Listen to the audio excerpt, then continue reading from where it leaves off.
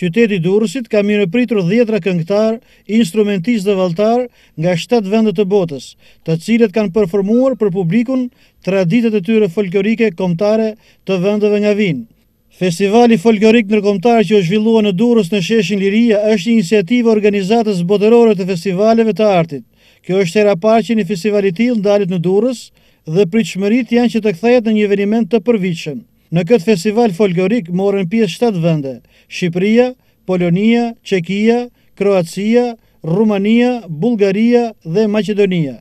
Pjesëtarët e grupeve folklorike të këtyre vendeve kanë ecur përgjatë bulevardit Epidamn dhe më pas ata kanë zhvilluar festivalin folklorik në sheshin Liria në prani të qytetarëve dhe pushuesve të Durrësit. të cilët kanë shijuar një shfaqje të pasur me këngë e valle tradicionale të këtyre vendeve, por dhe me kërcime moderne që i bashkangjiten folklorit.